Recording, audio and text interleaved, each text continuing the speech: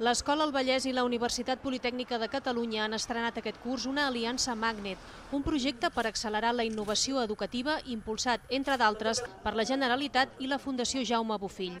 Aquesta iniciativa, amb una durada de 4 anys, permetrà al Centre de la Cogullada desenvolupar un projecte de qualitat, seguint la seva aposta per la transformació educativa i millorant també la seva projecció social. La col·laboració amb una institució de prestigi com la Politècnica ha de servir per convertir-lo en un referent en l'ensenyament científico-tecnològic. Considerem que aquesta aliança que tenim amb la UPC eh, és una oportunitat excel·lent pels nostres infants eh, per acostar-los a la ciència i a la tecnologia, per despertar la vocació científica i tecnològica, i trencar amb els estereotips de gènere a l'hora de tria eh, d'estudis superiors. Moltes vegades, els nanos i nanes joves, doncs, com que no veuen el llum al final del túnel ni què podran fer després, es desmotiven i no segueixen. No? Amb la qual què més bé que a primària allà, o on sigui en aquest cas amb molts jovenets, puguin veure què és, el, o tenir aquest contacte amb el món universitari, que de retruc també és amb un professional a posteriori. El programa Magnet aplega 33 centres educatius a una vintena de municipis catalans.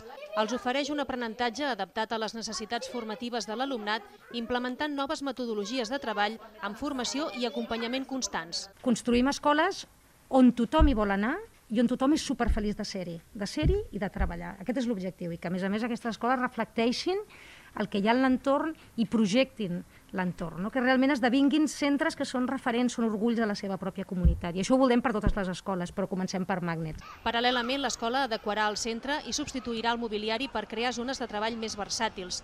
A més, l'Ajuntament hi farà obres de rehabilitació al pati per crear espais pedagògics a l'aire lliure.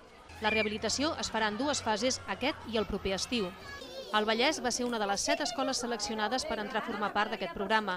És el segon centre educatiu de Terrassa que forma part del projecte Magnet, després de l'aliança de l'Institut Nicolau Copèrnic amb el NACTEC.